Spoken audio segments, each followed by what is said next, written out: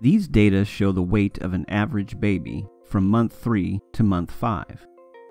What equation models these data? Substitute the values you know into the formula for an arithmetic sequence, and leave the values you don't know as variables. There is more than one way to do it. Once you have an arithmetic sequence formula, like this, you can use it to figure out the weight of the baby at month 1. How much did the baby weigh at month 1?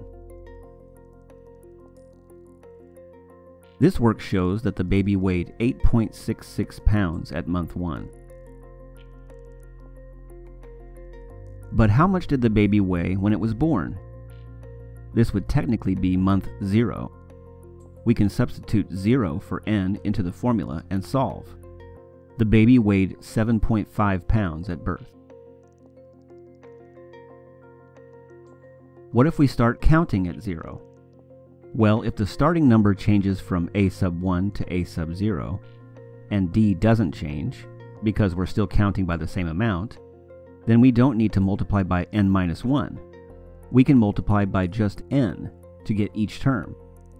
This equation is now in the form of a linear function. We can still use this function to calculate all the terms in the sequence.